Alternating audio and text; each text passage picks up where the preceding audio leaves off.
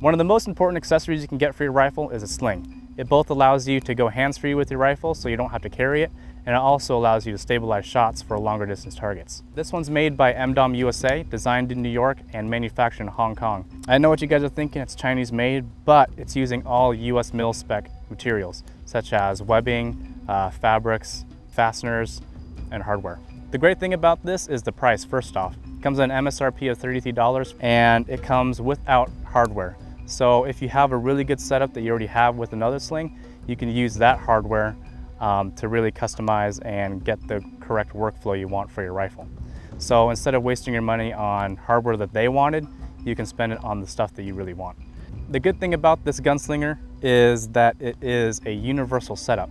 So you can either have it in a single point configuration as I have it right now, or if you're gonna take a longer distance hit, you can detach this HK, well in my case it's an HK clip, and you can connect to the front of your rifle. And the good thing about that is that you can really stabilize your shots and not have to worry too much about uh, like extra things dangling. The beauty of the sling setup is uh, the fact that there's no loose ends on webbing. So everything is either tucked away or um, eats itself up. What I mean by that is they have this Z-strap setup. So you can either lengthen or shorten the length of your sling just with the simple pull of the strap. So to make it shorter, you just pull forward and to lengthen the sling, pull outward. So depending on how much gear you're wearing on your body, how big you are as a user, you can really fine tune how tight or how loose you want your sling back of the sling that connects to the back plate is a quick detach. And this has a loop which you can connect to basically anything. So if you want to connect it directly to your stock, you can. If you want to connect it to a hook, you can. Or like me, I have a quick detachment. And uh, this pretty much stays on the rifle and allows you to either ditch the rifle if you want to or store it away without the sling. Going up from the butt of it is the actual shoulder strap. Uh, the cool thing about this is it goes from a one inch diameter all the way to a just about two inch diameter strap. The way they did this is they basically made an envelope using 420 Denier Cordura, and then they attach that to the wider part of the strap.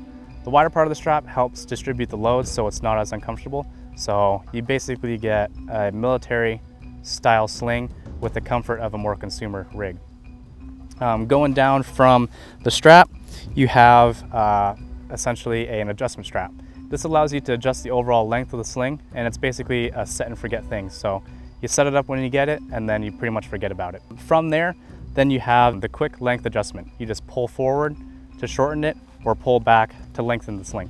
On the very last end of the strap, you have a loop which you can connect any type of hardware you want. You can go straight to a quick detach or like I have, which is an HK style clip. And this allows you to either clip to um, whatever you have in front or make it into a single point sling. So that's the EMDOM USA Gunslinger Sling. Um, it has a lot of good features taken from a lot of different influences and I think you're gonna like it.